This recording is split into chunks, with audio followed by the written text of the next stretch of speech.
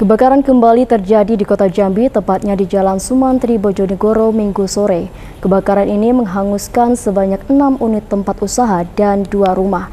Petugas damkar kota Jambi mengarahkan sebanyak 15 armada mobil pemadam kebakaran untuk memadamkan api. Dugaan sementara kebakaran tersebut terjadi karena ledakan tabung gas.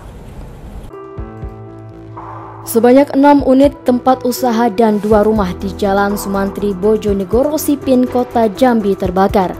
Peristiwa kebakaran yang menghanguskan enam tempat usaha dan dua tempat tinggal terjadi pada Minggu 16 Juli 2023 sore.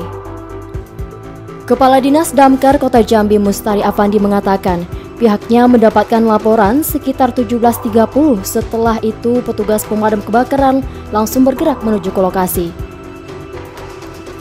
Guna melakukan pemadaman dan pendinginan api, pihaknya menurunkan 15 mobil damkar.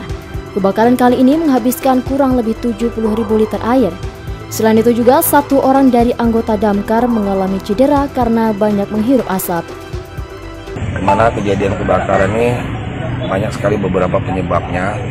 Yang pertama karena kipas angin yang tidak uh, dilepas pada saat ditinggalkan oleh penghuninya yang kedua karena dispenser yang juga sudah habis tapi tidak dicabut sehingga terjadi eh, potensi atau terbakar.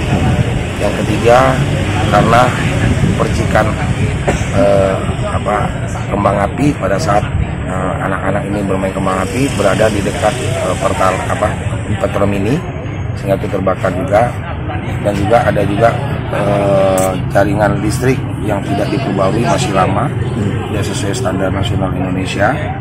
Dan juga ada karena obat nyamuk yang mereka pada saat dapat tidak ditinggalkan uh, pemilik rumah. Dan masih banyak juga ada juga kebakaran lahan juga yang dengan sengaja mereka bakar tapi tidak apa.